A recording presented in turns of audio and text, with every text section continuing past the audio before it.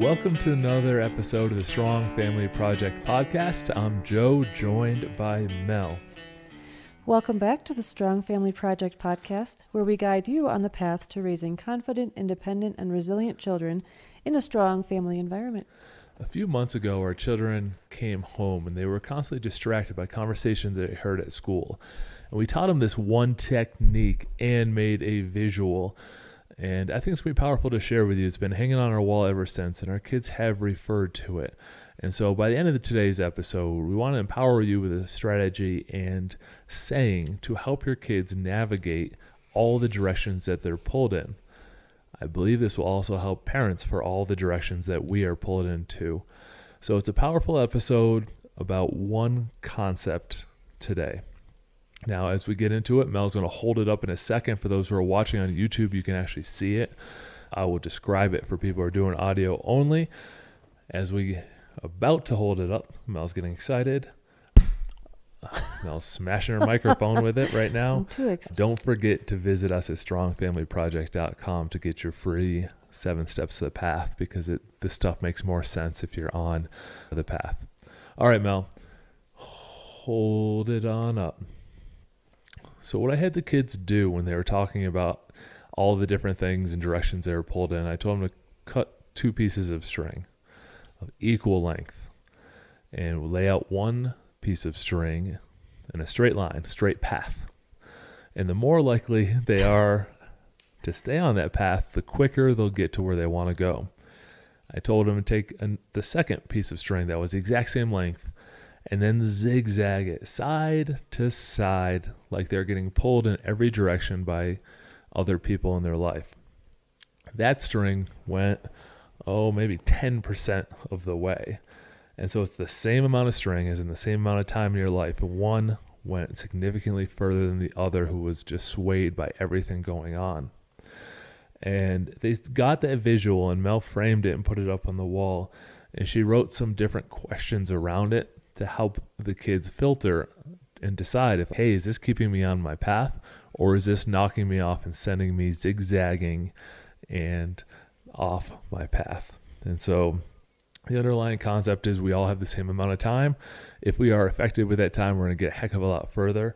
If we allow every juicy conversation to pull us side to side, we're not going to get very far in life. And so that is the reality that time does exist and we do have to make choices and our resources are scarce.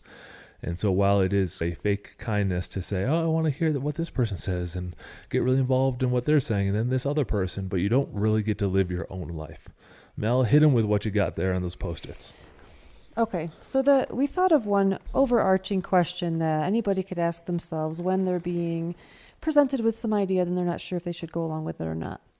And it simply says, "Is this what I should be thinking about right now?" So, for example, if you are in the middle of an assignment at school and some kid's distracting you and you're getting off task and you ask yourself, is this what I should be thinking about right now? Should I be thinking about my task or what this kid is trying to say? So it just directs you back to what you should be focused on. I think this is very important during more unstructured times, like recess and lunch, when different topics could come up. And a kid can simply ask themselves, is this what I should be thinking about right now? Is this pushing me forward or is this pulling me into some kind of gossip that's going to make me sway side to side and not end up at my goal? So that's the overarching question that we came up with initially. Of course, I added some more later. Mm, got artsy. and I think an important thing to mention right now is how do they decide if this is what they should be thinking about? And a lot of that is based on your family values. I even asked my son Logan today, I said, How has this. Now, obviously, I framed this because I thought this demonstration was so powerful and I really like visuals. And I said, Logan, how has this helped you? And he said, At school, a lot of times kids talk a lot about social media. And he's not on social media. And I'm like, How do you know what to do with that? How do you not get pulled into those conversations? And he says, Because of our family values. That's simply what he said. Because we have created we have these six family values back in episode one, which is basically the foundation of the entire strong family path. Because we're always reviewing them and discussing them and helping our kids embody them, he, when he's in a situation that could potentially push him to the side and get him off track, he remembers are the family values and he's able to straighten himself back out onto the right path. So that's how they would know what to think about is based on what you've fostered at home, what kind of culture you have, what kind of values you've set up. Yeah, this is well explained on the character level. This applies to a lot more as well. In an earlier episode, one of the first seven on the Strong Family Path, we talked about goal setting as well. And we have the kids sit down and they draw everything that they want to accomplish in the next year.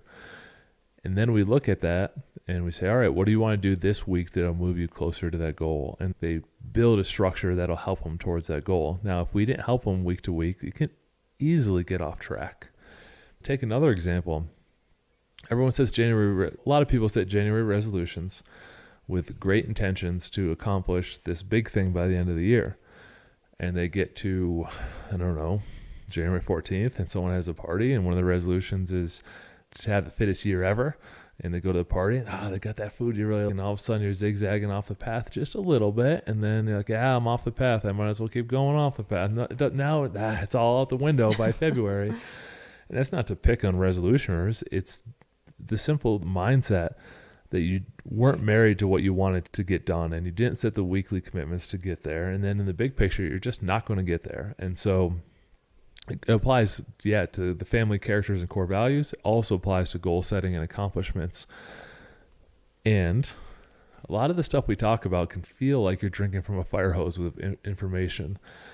And so it's not try to do everything at once. It's try to do one thing do it well and take that step on the path and then create your next step and then create your next step versus trying to do it all at once. You get scatterbrained and then you're zigzagging all over the place. I know i've done it with a lot of things. So i'm speaking from a deficit here where you get pulled side by side to side with things like we're doing this podcast and we have a vision for it and we're staying pretty strong to the vision but we also have attractive offerings to be guests on other podcasts. Many have been wonderful I can only think of one in particular where I looked at their episodes. I'm like, ah, that's not aligned with our values.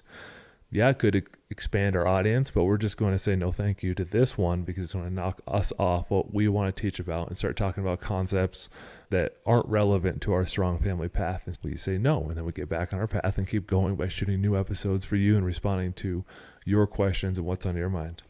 Yeah, this is a little bit of a separate issue, but it's okay to say no if things don't align with your values. And that really has helped us in anybody really if you think about it if you know where you're trying to get you know when you have to say no even if it might feel bad and and speaking of feelings i think this is really Yeah. powerful yeah. this is really powerful when it comes to feelings because I think a lot of times kids especially because they're not as emotionally intelligent as hopefully adults are they are swayed by feelings this kid said this thing and I felt this way and it felt good so I went in that direction and this felt good so I went in this direction and we're trying to teach our kids yes we all have feelings of course and they can be very useful yeah. I know you might not totally agree with me, but if there's like a wild animal coming at you outside and you feel fear, that fear is useful to helpfully help you decide to get out of that situation. But I think people too often rely, uh, their decision making too often relies only on feelings and not on something else. So if you're having a feeling about something that could easily sway you to the side, you have to teach your kids to stop and think about the core values of the family. Does this align? I think that's really important. And I actually had a Bible verse. Can I have my phone? Because I put a screenshot of Sure. it. And I picked a translation that is fairly easy to understand, but this really reflects, I think, what this is all about. And it says, The goal is that we no longer be little children, tossed by the waves and blown around by every wind of teaching, when people use tricks and invent clever ways to lead us astray. So it's basically what it says is little kids who don't have values, who don't really know how to make decisions for themselves, will just go with every single whim. They'll just do whatever they see, whatever kid they're with. They'll just be like, oh, that looks cool. I'll go this way, I'll go that way, until you start to set boundaries and teach them the path of how to get somewhere more positive and to get where they're going. So we want to try to create that structure and create a filter for our kids to be able to learn how to make decisions for themselves and not just go with whatever sounds good at the moment. I want to empower you with three sayings that might help you teach this to, to yourselves or for your kids. The first saying is you do not need to attend every argument you're invited to. With what we've explained so far is that yeah, someone persuades you and you follow on the path. It could be the opposite too, where they say something and then you spend so much time arguing against them that you've knocked yourself off the path the other way. you don't have to attend every argument you're invited to. You have the right to ignore many of these conversations that are going on in the world that don't influence your family's life, your personal development, your personal life, your community, those layers on top of each other. The second saying is a little softer version, but still true. You don't have to attend every conversation you're invited to. People like to talk about a lot of things. I don't like to talk about a lot of things. I like to talk about hardly anything. And so when people are like, oh, did you hear this thing? Nope. and I don't care. Not to be rude, but I don't want to have this conversation. and so you don't have to attend every conversation that you're invited to. And the third saying is you don't have to care about everything. And if you do try to care about everything, you actually aren't going to care very much because your lim- resources are limited and you'll be very spread thing. It's better to care about a few primary things that you can actually influence. So you can reserve the right not to care. I see these sensationalized headlines and it goes back to the conversation one. See these sensationalized headlines that want to pull you and they want to control your attention, which is hugely valuable in marketing. And you can powerfully just say, "Yeah, I just don't care about this." Either way, I don't care. I'm not against it, not for it.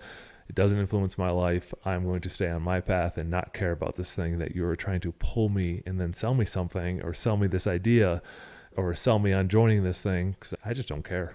That's it's. I like that you said that because we talked about this in a previous podcast where for Lent I gave up social media. And yes, I'm back on and I look a little bit, but I already see that when I'm on there, I'm being pulled, just like on this string, I'm being pulled to the side by things that I don't need to care about, by things that are going to be distracting me from my goal. And my goal is to focus on my family. That's my primary goal.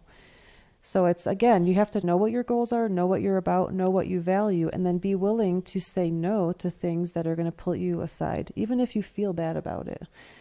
And then I had this other piece here where I was listening to a podcast, and I think it was Dr. Phil on Joe Rogan or something. And I just thought this was super, a super great questions to ask yourself in addition to the, is this should, what I should be thinking about right now?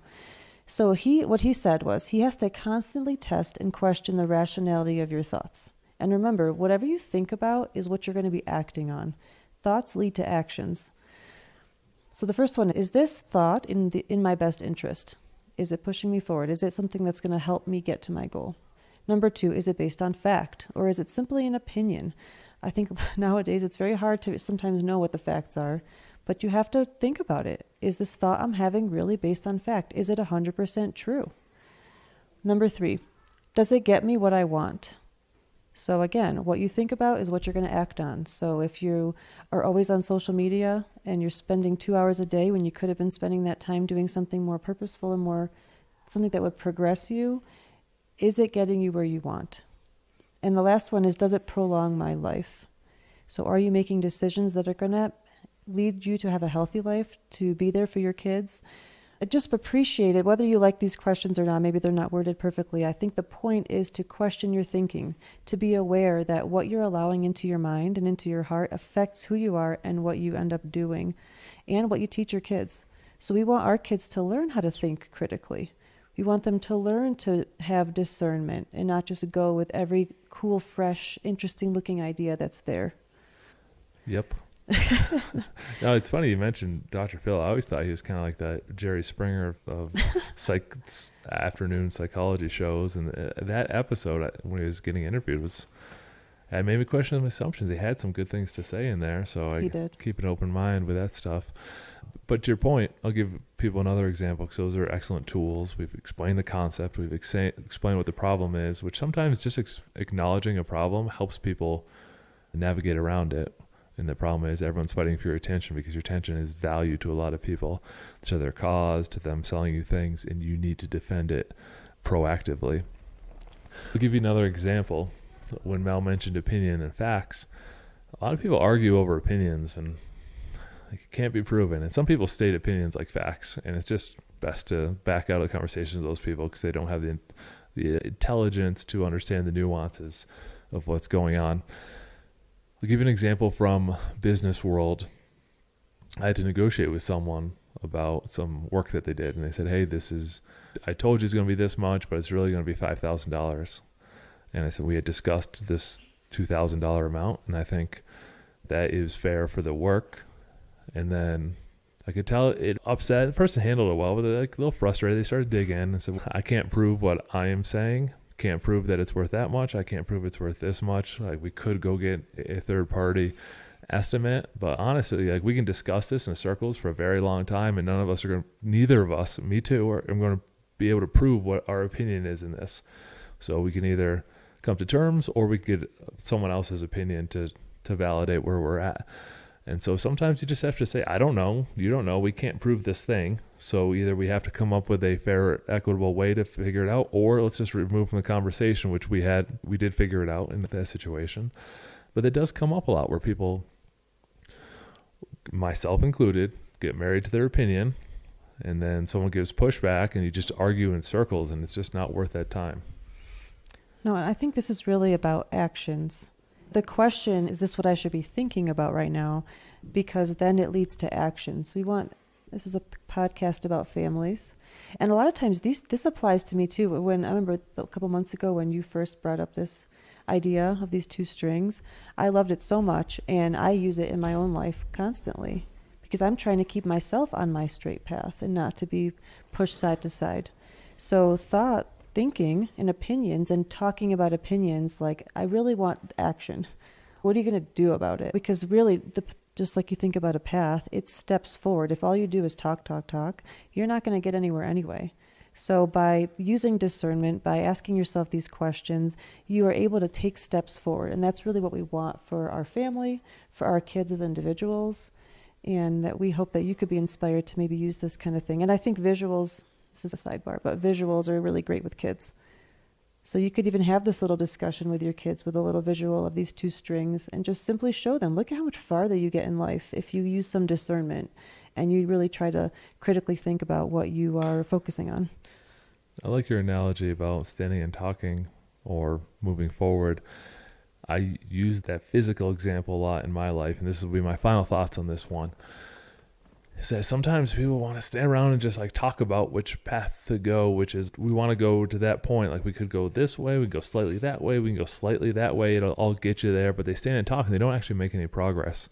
So I will literally have a lot of my conversations walking. So I want to see progress physically while we are discussing topics. I always want to be moving forward. I don't want to be standing still for and I don't want to be standing still for very long if I have to stand still and think about something. We can always be making small amounts of improvement. And it goes back to my point with the strong family path. Don't have to do everything at once. You don't have to overhaul your parenting at once. You don't have to solve every child issue at once however, we'll get really stuck in standing still and just talking about them, talking about, and not nudging them forward. So start talking while you're walking and start making some progress on your path. And this makes me think of overanalysis. When you talk about it too much, you overanalyze. I've certainly done this. I've come to you many on many occasions where I don't know which way to go. I I, there's too many options. This, all these things could go wrong with these different things, and you're like, just pick one. I think you said that to me one time, just really blatantly, like just pick one and start moving forward. And that's really what this is about. Pick one, move forward. Not you're not always going to have the perfect solution. And that is part of why we do weekly commitments towards our goals because you can change it up. If this didn't work, you can change it up. You're not married to one particular thing. But just what is it? Paralysis by overanalysis? Is that how it goes? I think that really speaks to this as well. It's okay to discuss, but you need action. I'll give another shout out. I think I mentioned this in a previous episode to my brother Pat, who was trying to dig a basement at his house. And he was calling around to rent different ex- excavators, and it was all like going to be weeks and various amounts of money. And like tried to rent one, that person didn't show up, and now like a weekend, and he needs this thing done. And a normal person would just be like, all right, let's try to find the next solution. Call more places and do this. Uh, let's just find this easy solution. It's got to be out there somewhere. And he's just got a shovel, and started digging until his basement was done. Yes, it was physically harder, but who cares? That progress was daily, where he had to no, no longer make those phone calls. He just had to continue to execute on the path. And yeah, it was one of those ones where it slightly veers off to the side, but he got to where he wanted to go and perhaps even faster than if he waited for another person who could have stood him up and then try to rent something else, certainly cheaper. And it's just some physical work. Like we, we th- overthink to avoid physical work way too far. And I know it's a little bit of a tangent. We sold a, a table we had at our old house, which was super heavy. And my brother and I had to carry it and it got assembled in the house. The person that bought it was not in shape and he's designing like this lever system of wedges to like slide this table out the door and back up his car and make a ramp up to our deck and say, hey, how about just why don't we just start carrying it a little bit? Let's start making some progress. We're not making a Rube Goldberg here. And some people try to take every problem and turn it into a Rube Goldberg when it's really just, hey, just take some steps and get it done. Just do it. I think too with the Pat example is he had his end goal defined well. Mm-hmm. If you know where you're going, it's a lot easier to make decisions to not get off track. So sometimes just defining where you want to go. Like for example, if you want your family to become a more organized system, like Joe said earlier, taking all seven steps at once, probably not reasonable. You're going to get overwhelmed. But if you define where you want to be, what does success look like for your family, and then start taking a step forward today, even if it's walking with your spouse and talking about it. And that forward motion really does help. I feel like we, we get a lot more accomplished on our walk conversations than if we were just sitting here talking. Definitely. I almost want to do a podcast walking now. All right, here's I know that said was my last thought, but we talked a lot. We gave a lot of concepts, and yes, we have a visual. Yes, I think you should make the visual and teach the concept to your family. But here's where I would go from here. Next step, so it's not overwhelming, is start looking around your life and identifying distractions to where you want to go, and just start there. And then once you have your list of distractions, start to slowly nudge them to less so now that time can be invested on wherever you personally or you and your family or you want your kids to go. Said. Thank you for listening to another episode of the Strong Family Project podcast. If it made you think and gave you some value, the exchange is you got to write, give us a review so we can keep putting out episodes and more people can hear about this project and live a strong family life. Thank you for listening.